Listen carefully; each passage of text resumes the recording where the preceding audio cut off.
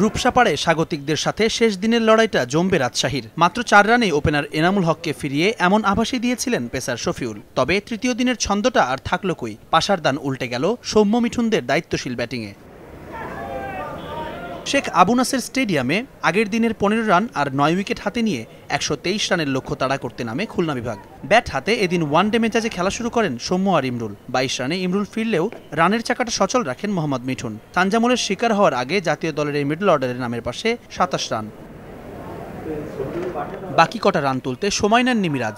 আট বলে দুই চারে তোলেন অপরাজিত চোদ্দ রান। আর উনষাট বলে ফিফটি তুলে দলকে জয়ের বন্দরে নোঙ্গর করান ওপেনার সৌম্য। এর আগে দ্বিতীয় ইনিংসে রাজশাহী একশো সত্তর রানে গুটিয়ে গেলে একশো তেইশ রানের টার্গেট পায় রাজ্জাক বাহিনী। ম্যাচ সেরা খুলনার প্রথম ইনিংসে অপরাজিত সাতানব্বই রান করা নুরুল হাসান। ফলাফল এসেছে বগুড়ার মাঠেও। সিলেট ওপেনার ইমতিয়াজের শতকের কাছে রং হারিয়েছে মাহমুদুল্লাহর শতক।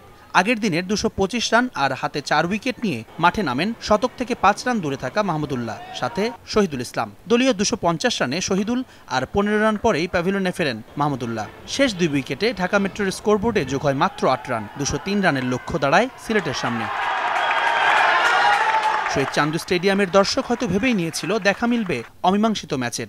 তবে ইমতিয়াজের অপরাজিত সেঞ্চুরিতে সে আশঙ্কা রূপ পায়নি বাস্তবতার। সাথে জাকির হাসানের একশো পাঁচ বলে বাহাত্তর রানের ইনিংসে মাত্র দুই উইকেট হারিয়ে জয় তুলে নেয় সিলেট বিভাগ। এছাড়াও ফতুল্লাতে কোনো নিষ্পত্তি করতে পারেনি চট্টগ্রাম আর বরিশাল বিভাগ।